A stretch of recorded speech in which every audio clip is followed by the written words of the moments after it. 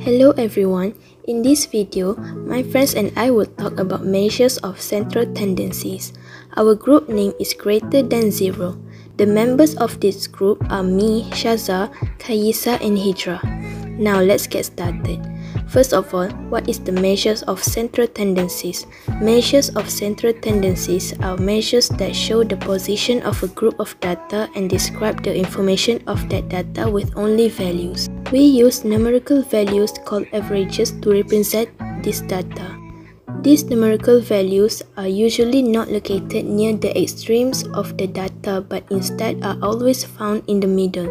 Hence, these averages can be referred to as measures of central tendency. The three types of measures of central tendencies are mean, median, and mode. The first one is mean. Mean is the value obtained when the sum of data values is divided by the number of data. The formula for mean is mean equals to the total value of data divided by the number of data. Mean for the data in the frequency table can be calculated by finding the sum of the data from the corresponding frequency divided by the number of frequencies. Lastly, mean for group data, we have to classify the data to a specific group. So before the mean is determined, we must find the midpoint of this class to represent that class. The second one is median. Median for a set of data with an odd number of items is the value in the middle, while median for a set of data with an even number of items is the average value of two numbers in the middle arranged in ascending or descending order.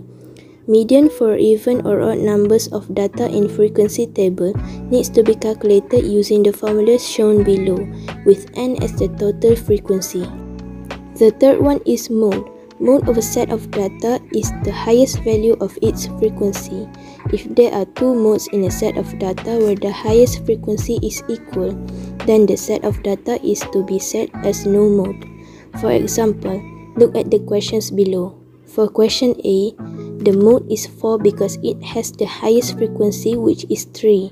For question B, there are two modes because both coffee and tea has the highest frequency which is 3. For question C, there are no mode because none of the numbers is repeated. Now, I will pass to my friend Kaiyisah to continue. I will talk about body mass index or BMI. So what is BMI? BMI is a value derived from the mass and height of a person. The BMI is defined as the body mass divided by the square of the body height and is expressed in units of kilogram per meter square. A high BMI can indicate high body fatness. BMI screens for weight categories that may lead to health problems, but it does not diagnose the body fatness or health of an individual. These are the categories of BMI. There are five categories which is underweight, normal, overweight, obese, and extremely obese. Now, we will present our data collection. The method used to collect information are Google Form, Survey, and WhatsApp. Here is a list of data collected from 50 students. The data we collected contains gender, height, and weight of every individual. Based on the pie chart, we can see the highest number of students' BMI is normal, followed by underweight, overweight, obese, and extremely obese. This is the calculation of the data obtained using measures of central tendencies. This is a frequency table, so we need to calculate the mean using this formula, which is mean equals to sum of frequency times by midpoint and divided by the number of frequencies. Thus, the mean of this frequency table is 21.891. Next, the median is calculated by using the formula median equals to average data at position n divided by 2 and n divided by 2 plus 1 which n is the total of frequency. The total of frequency is 50.